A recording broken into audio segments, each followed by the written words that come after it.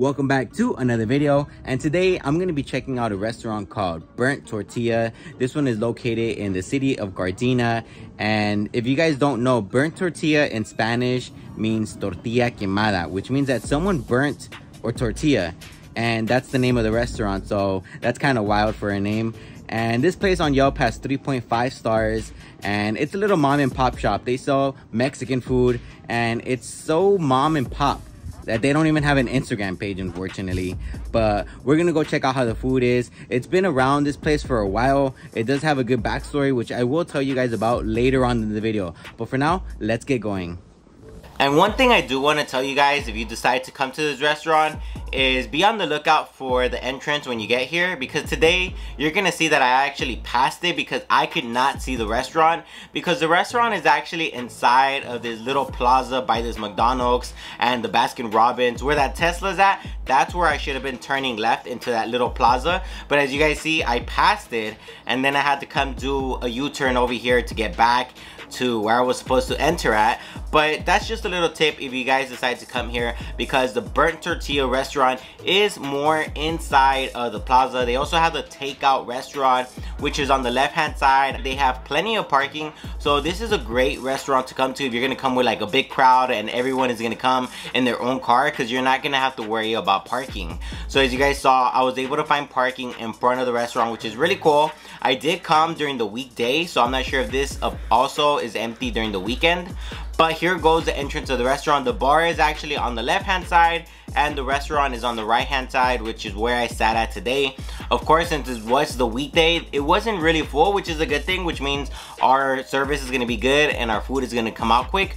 This is the menu. I really like the vibrant colors of like the purple, the blue, the tomato. It's really cool. Unfortunately, there are no pictures, which always does suck, but I do appreciate the details of the description. They do a really good job at telling you what comes in the plate and what is included inside of the item that you order. They do have fries, burgers, enchiladas, guacamole, burritos. They have a ton of Mexican variety that you're gonna love. To get started, they did give us some chips and tortillas. This was free and I really liked the tortillas. They were really good. And the salsa, the salsa was also very good. It was a little spicy and it did have a little kick. So you do have to be careful for that. But I was fascinated with the freshness of the tortilla chips. I decided to order the guacamole dip, which is fresh avocado blended with tomatoes, onions, and spices.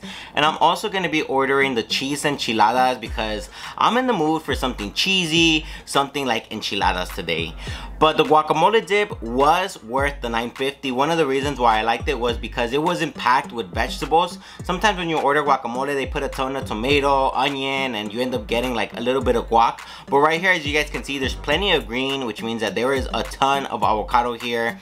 And I really enjoyed the avocado with the chips. I think they made a great combination. I was also using the salsa so I was combining the three things, the chips, guacamole, and salsa, and it made a great combination. So if you guys are a fan of guacamole, then this is a great thing to order. You won't be disappointed. I'm gonna show you guys this chip getting dipped in here because it just was so good and tasty. I'm gonna be taking a bite of it and just hear it.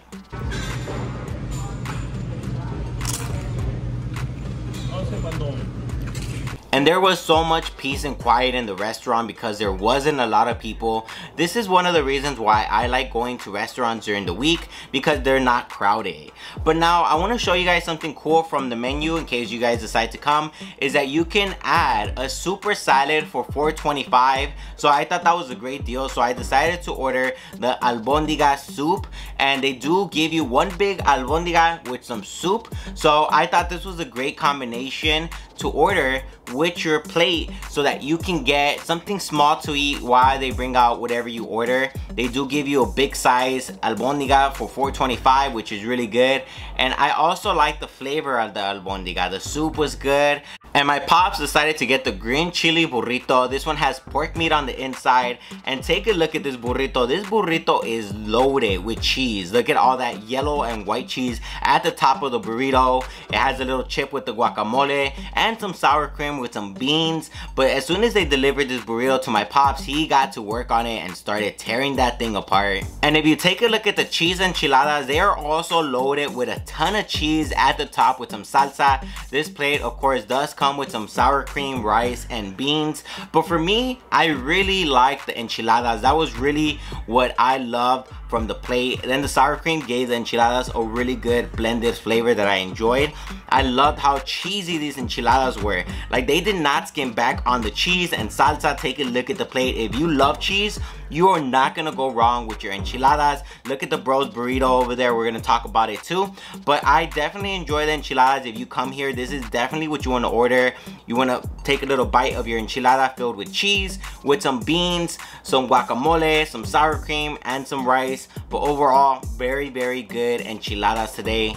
And my bro decided to order the carnitas burrito and take a look at this monster, you guys. There is just so much food on that plate. There is a ton of salsa on the plate so that when you're tearing up your burrito, you can dip the burrito in the salsa and get all that red sauce on it. It has plenty of cheese. They give you some picadillo on the side with some guacamole. So that was a nice little side touch. My bro, of course, has to share so that I can also try his burrito since him and my pops decided to both order a burrito. I was the only only one who got the enchiladas today.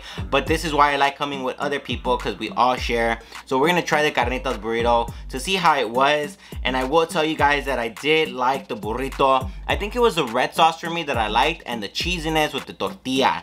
And of course the carnitas were really good. I decided to order the flan for $7 because they told us that this would be a good dessert so that the three of us could share. But unfortunately, I didn't know that it was gonna have so much cinnamon flavor on it.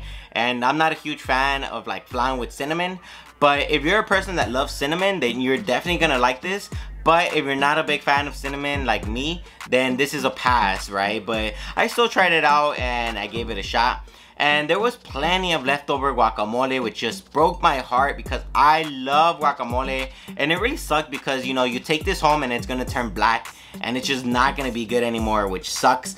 But the thing that happened was that I ordered the guacamole as like an appetizer right? So I could be eating it with the chips. But they brought out the burrito so quick that we didn't even get to eat the chips with the guacamole right? Because they were just so quick. I was expecting them to take a little bit longer but since the restaurant wasn't packed our food came out quick. And look at the plates you guys. We enjoyed everything today. The food was very good. My pops liked the burrito. The bro liked the burrito. The enchiladas were good. But it was a little steep you guys for a little casual restaurant. We did end up paying 85 dollars on Yelp, Burnt Tortilla has 3 stars and a half with 764 reviews and I agree with the ratings that this place has because the food here was good, it was decent, I would come back for it, the prices, they're okay. It's a restaurant that's gonna get you in and out and there's plenty of space here, plenty of parking. If I'm in the area in Gardena and I want a burrito or I want an enchilada, I definitely would make the stop here. And I do want to read a little backstory about this place. It says, the Burnt Tortilla is a Gardena homegrown restaurant Burnt Tortilla has been a family affair with Kathy, Gina, and Brandon serving the Gardena community since 1974, beginning with the original Burnt Tortilla, which has now expanded to a full-size dining restaurant and bar. The new site is beautifully designed with bright colors and attractive dining areas, able to accommodate large groups of businesses, meetings, and family celebrations. The Burnt Tortilla also has a takeout location, which is adjacent to the dining restaurant. The freshest ingredients are used in our homemade Mexican food, we are famous for our green chili deluxe burrito and look forward to pleasing your taste buds. So as you guys can see, this place has been around for almost 45 years, which is a really long time. So if a restaurant has been around for 45 years, what does that mean? That means that people like the food and they continue to visit this place because if the food sucked, this place wouldn't be open anymore, right? But this place did get started as a takeout location, which is still open to this day next door, but they expanded to this full dining restaurant and bar. And like it says, there's plenty of businesses in this area. There's a lot of offices, so this place does get busy during like lunch hour for the offices and all that. So it is a good place to come. Also for big party celebrations, because as you guys saw, they have a lot of space. And if you enjoyed this video, do me a huge favor and hit that delicious like button down below. And if you want to keep going on some awesome adventures with me, make sure to subscribe. I post two new videos every single week that you're not want to miss. This was De La Fox Checks, and I approve a burnt tortilla.